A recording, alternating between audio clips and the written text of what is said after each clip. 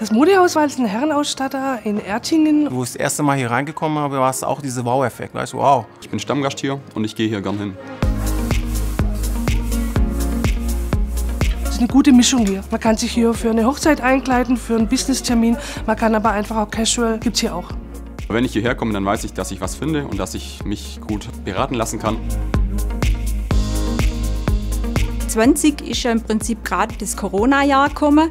Und dann kam die Information, dass wir zu Hause bleiben sollen. Und dann war die Überlegung ganz schnell da, dass wir auf Online, dass wir irgendwie gucken müssen, wie, wie die Leute bei uns bestellen können. Das mit Schuhe 24, das war eigentlich unser erstes. Da sind wir eigentlich ganz schnell reingekommen. Und durch das, dass unser Betrieb vorher schon so digitalisiert war, ging das mit der Anbindung mit Zalando sehr, sehr schnell.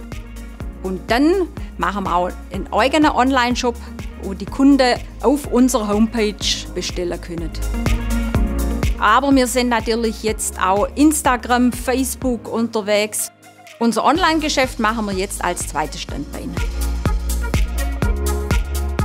Das Aufbäumen, das hätten wir wahrscheinlich ohne unseren Chef mit seiner Frau nicht geschafft.